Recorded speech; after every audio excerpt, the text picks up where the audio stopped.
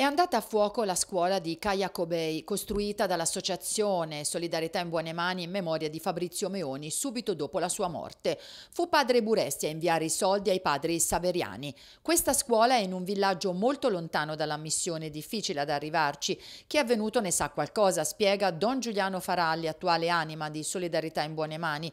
Nel primo viaggio che feci, racconta Don Giuliano, con Michela e Alessandro, ci fecero una grande accoglienza e non avendo neanche l'acqua facemmo subito subito un pozzo, un vero peccato. Se ingrandite la foto, dice Don Giuliano, si può intravedere la scritta del dono fatto. La scuola, come detto, era la prima tra quelle costruite ed era dedicata a Fabrizio Meoni.